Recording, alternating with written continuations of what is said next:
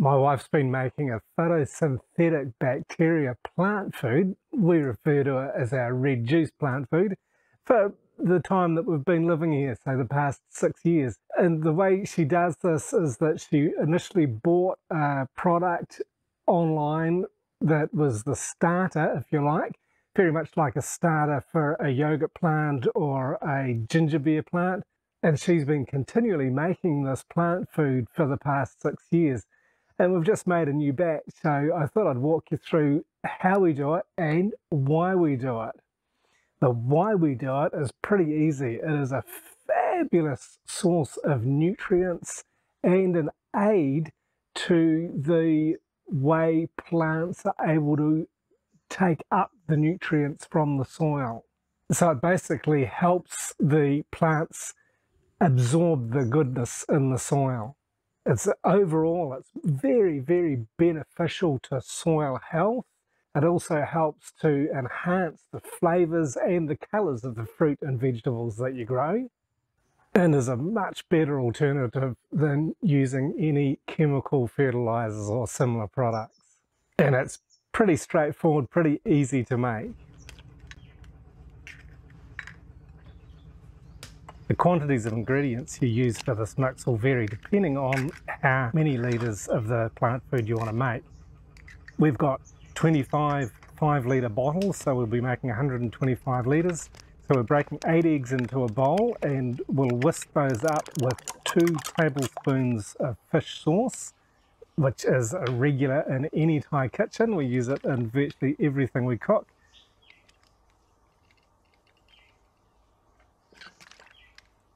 And then we'll also add two tablespoons, two heaped tablespoons of MSG. This is something that's also found in many Thai kitchens, but in our kitchen, this is the only time we use it when we're making our photosynthetic bacteria plant food.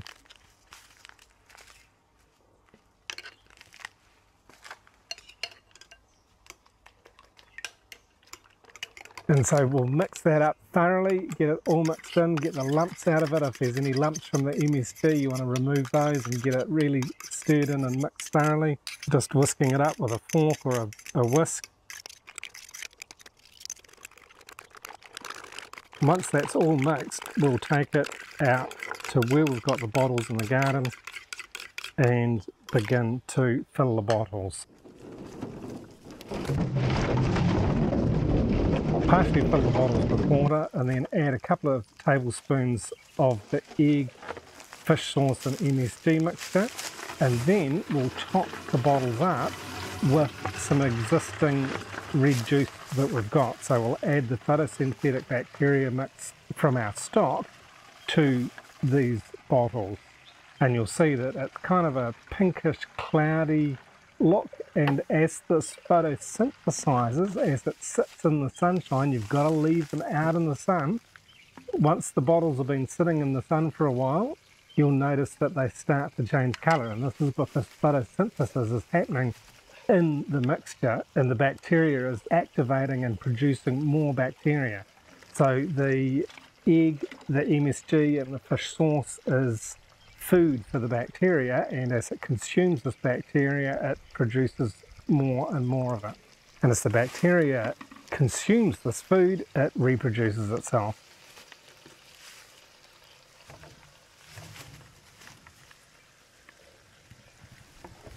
This time we're not so sure if the existing stock we've got is really good enough but we'll try it and see if it's not, we'll have to get online and order another bottle to use as a starter mixture and then we can just add that. We can just top up a little bit in each bottle and add this so that the bacteria will continue to reproduce. And once it's done, once it's settled, it will take time depending on your climate and conditions, how much sunshine. So the way to do it is just to pay attention to it, look at the colour change and when it's re reached this nice rich deep red colour then it's ready for use. And remember if you're doing this and if you want to create some more, always keep a bottle or two that you don't use in your garden so that you can then use it as a starter when you want to produce some more. It's now seven days after we made our concoction and added it to the bottles and you can see that the colour has changed quite significantly so it's really working which is great but we're going to have to leave it probably another week or two weeks depending on how much sunshine we get and the colour of the mixture, the photosynthesis bacteria will tell us when it's ready to use and the smell will let us know too. You take the cap off and sniff it, don't go putting your nose right in it. It stinks like, yeah, it's pretty rotten, but that means that it's working. It's working well if it smells bad. And then we'll be able to start adding it to our garden. Typically we'll add it as a 1 to 10 ratio, so one part of our red juice and 10 parts of water, and then just really liberally apply it to anything that's growing. I do also use it to inoculate my biochar. It's really good to soak the biochar in it, or if we're using, if we're adding biochar in the soil, then I'll just really give it a good dousing of that. Also put it in my compost and yeah, just generally anything, anything that we want really to promote growth and to promote soil health is how we use it.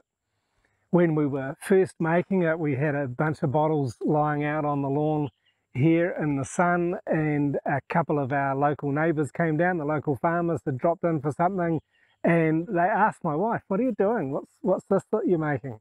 And she started to tell them and one of them just sort of said, oh, pause just a minute. And uh, he went back to his motorcycle and got a notepad and a pen and he came and made notes about what she was talking about so he could then go back and make his own as well. And they told my wife, they said, oh, all that we learn about, the, the new things that we learn about, we just hear on the radio.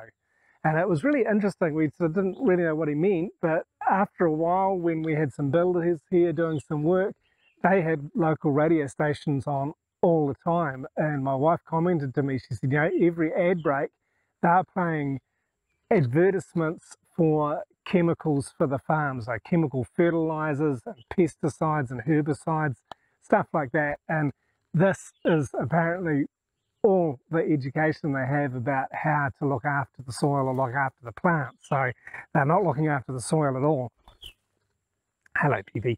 Um, but uh, though it was great that they were eager to learn and to learn about how to do things organically. So it's something that we've kind of got on the back of our minds all the time is that the locals seem to have lost the skill of gardening organically. I'm sure they did before the radio came along and before the chemical companies came along that they, they listened to the ads on the radio. But it's time for us to really try and be encouraging them to do things more organically, particularly now that we've been doing it here for a while and it's, yeah, our garden's looking pretty good and it's producing quite nicely.